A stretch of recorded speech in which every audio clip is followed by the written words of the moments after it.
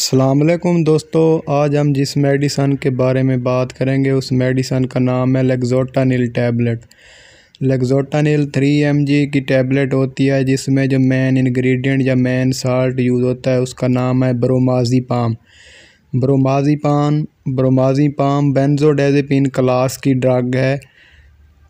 जो कि बुनियादी तौर पर depression anxiety insomnia panic disorder OCD उस ऑब्सेसिव कंपल्सिव डिसऑर्डर के लिए इस्तेमाल की जाती है।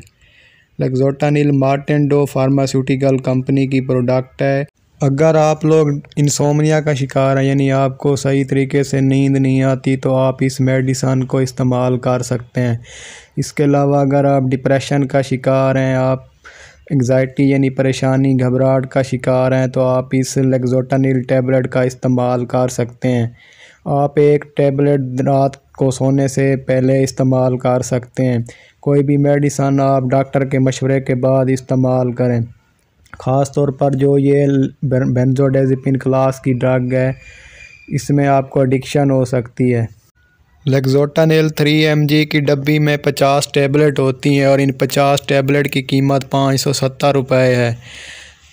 अगर इस मेडिसन के साइड इफ़ेक्ट की बात की जाए तो आपको इस मेडिसन के इस्तेमाल करने से एडिक्शन हो सकती है, यानी आप इस मेडिसन के आदि बन सकते हैं। इसके अलावा आपको नोज़िया हो सकता है, वॉमिटिंग हो सकती है लेग्जोटानिल टैबलेट के अगर कॉन्ट्रा इंडिकेशन की बात की जाए तो आप इस मेडिसन को प्रेगनेंसी में इस्तेमाल नहीं कर सकते और ना इसे लैक्टेशन यानी दूध पिलाए पिलाने वाली माँ इसे इस्तेमाल कर सकती हैं।